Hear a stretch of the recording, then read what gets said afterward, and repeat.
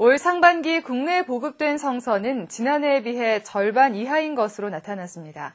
국내 성경 보급은 크게 줄어든 반면 해외 성서 수출은 올 상반기 최대 실적을 기록했습니다. 박성석 기자가 보도합니다. 올 상반기 국내 성서 보급이 전년도에 비해 절반 수준 이하인 것으로 나타났습니다. 대한성서공회는 올 상반기 국내 보급된 성서 부수는 34만 5천여 부로 전년도 같은 기간 73만 5천여 부에 비해 절반에 채 미치지 못했습니다.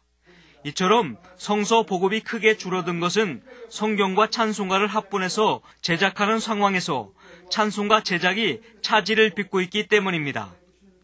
국내 성서 보급이 감소한 요인은 저작권 문제로 찬송가를 제작할 수 없게 된 것이 성경 보급에 영향을 끼치고 있는 것으로 분석됩니다. 또 스마트폰 보급 확대 등 디지털 매체가 빠르게 변하고 있는 것도 인쇄 성경 수요가 줄어든 요인으로 풀이됩니다. 올 상반기 국내 성경 보급은 줄었으나 해외 성서 수출은 지난해에 비해 13.1% 증가한 것으로 나타났습니다. 성서 공예는 올 상반기 89개 나라에 131개 언어로 모두 292만 7천 여 부의 성서를 제작해 해외로 수출했습니다.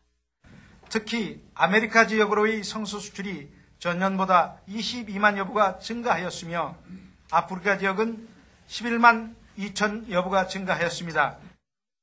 성서공회는 특히 해외 성서 수출을 시작한 이래 올 상반기에 최고의 실적을 올렸다고 밝혔습니다. 한편 성서 공예는 세계 성서 운동을 돕기 위해 세계 성서 공예 연합회에 해마다 100만 불을 지원하는 것과는 별도로 아프리카, 세네갈 등 총 14개의 성서 공예에 미화 36만 불의 성서를 제작해 기증해 오고 있습니다. CBS 뉴스 박성석입니다.